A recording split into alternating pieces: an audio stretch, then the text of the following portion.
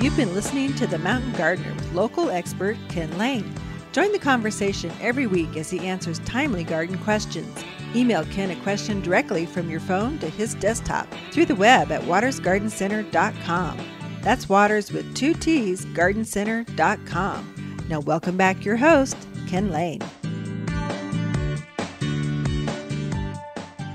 So, plants are by no means done once they drop their leaves.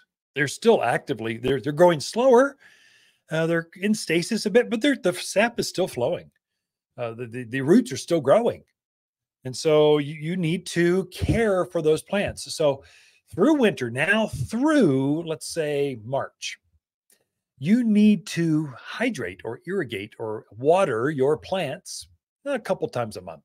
If we get a heavy snow, I'm talking over six inches, like like it's wet, maybe you could cut one of those out, but really you should be watering two times every month. Pick a nice day. You want to be out there watering by hand. Ken, I turned off the drip irrigation.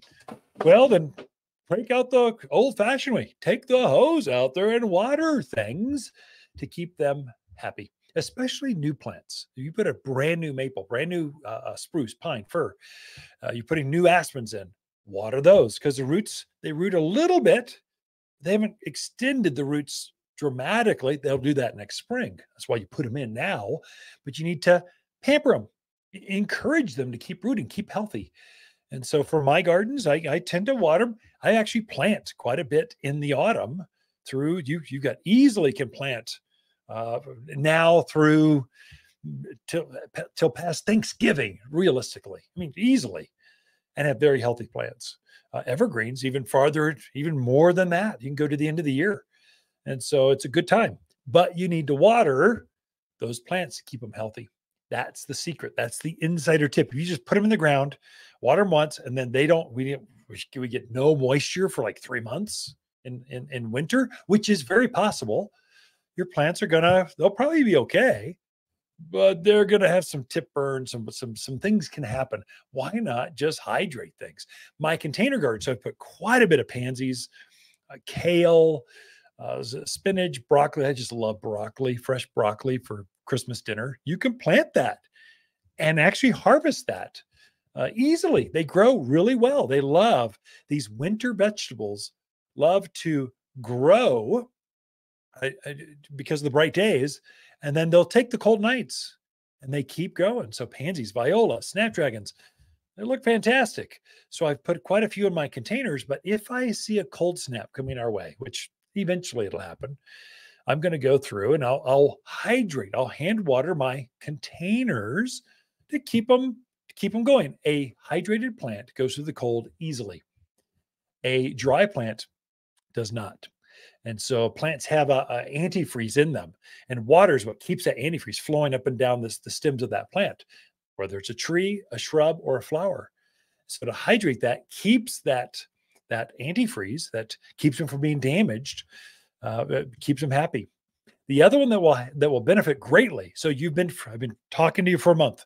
You should fertilize everything. Uh, it, mainly, I'm recommending. The only thing we really sell at the garden center is organic food. So I'm strong organic guy. I think we're all drinking groundwater. I'm going to sell five truckloads of fertilizer in the Yavapai Central Highlands area. I have a responsibility to make sure we don't. I, I have the ability to poison us myself personally at the garden center. I'm just not going to do that. Synthetic fertilizers are just not good. They liquefy so quick, water hits them, they run downstream. Organics, excuse me, don't do that. Organics break down slowly over, over a long period of time, which your plants love. They'd much rather have slow, steady nutrients at their root base than to be all at once release some chemical, you know, Scott's turf builder all at once, and then it's flushed out and they're left wanting, especially in winter. In fact, winter, you if you're using sulfates like a like uh, ammonium sulfate, it doesn't even come close to working in summer. It doesn't work. You need to switch over to organics, or there's some nitro different types of, of fertilizers, and they don't teach you this stuff when you're walking down the the box store aisle of confusion. Uh, but there there are different types. The other thing synthetics do they burn off all the good things in your soil. I mean, worms hate that stuff. Mycorrhizal colonies, the, the, the fungi, they don't like synthetic fertilizers, but they love organics. And so every time you water, we get some snow or some rain. If you're putting the, fertilizers I've been recommending for a month, if you haven't fertilized yet, do it. It's super important. Uh, but every time water touches that, it'll release a little bit. And so take it up. Just because they don't have leaves does not mean they're not actually taking up nutrients or actually extending roots. They are.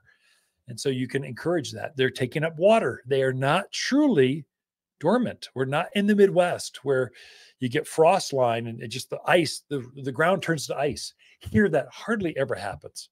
Yeah, at the highest elevations, maybe highest elevations, the White Mountains or, or, or Flagstaff, maybe, but even then it thaws for us. So here in the Central Highlands, at that 6,000 foot, 6,500 and below, it doesn't freeze. Or if it does, it's for a moment, then it's done. So the plants need you to hydrate and to feed them more than maybe other parts of the country. It's a it's a big deal.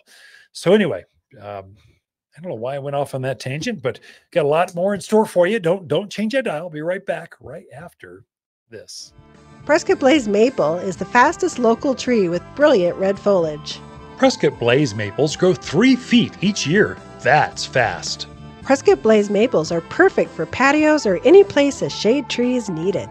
We have a limited number of huge, instant Prescott Blaze maples, but the $249 size is exceptionally nice. The maples are brighter in Prescott at Watters Garden Center. Or shop online at top10trees.com. We believe in roses that smell like a rose at Watters Garden Center. The Mountain Gardener, your source for timely garden advice right for higher elevations guaranteed to make a difference in your yard this season.